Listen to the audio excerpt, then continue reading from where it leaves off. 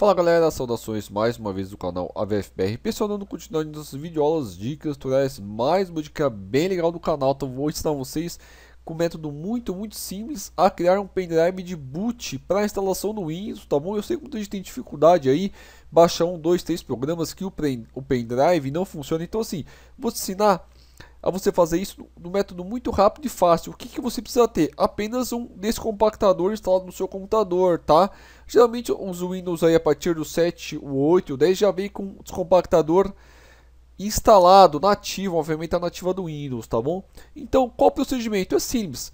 Eu estou aqui com uma ISO, ó. O que você vai fazer? Você vai clicar na ISO e vai extrair todo o conteúdo da ISO, ó no, no pendrive, eu criei uma pasta aqui para emular um pendrive, tá?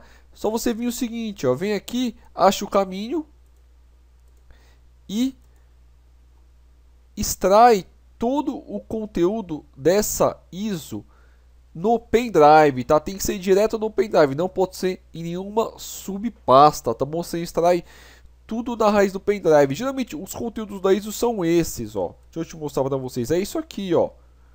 Tá?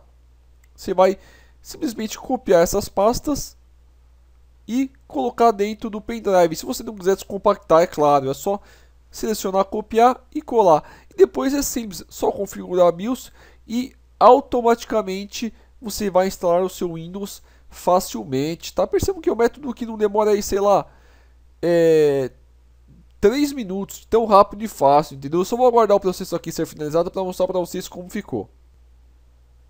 Bom, galera, procedimento quase que finalizado. Vamos aguardar ele acabar. Aí eu vou acessar ali a pasta, no caso seria o seu pendrive, e vou mostrar para vocês, tá? Ó. Ele vai ter que ficar assim, ó. Desse jeito que tá aqui, ó. Tá? Esqueçam essa subpasta, tá bom? Ó. Esse conteúdo aqui tem que estar diretamente aqui, ó. Tá?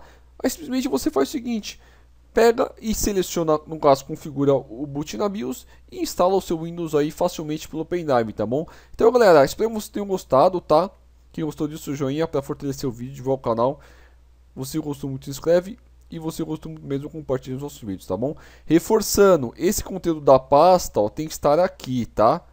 Não coloque uma subpasta dentro do pendrive que não dá certo. Joga tudo na raiz do pendrive, tá bom? Então é isso aí, galera. Um grande abraço.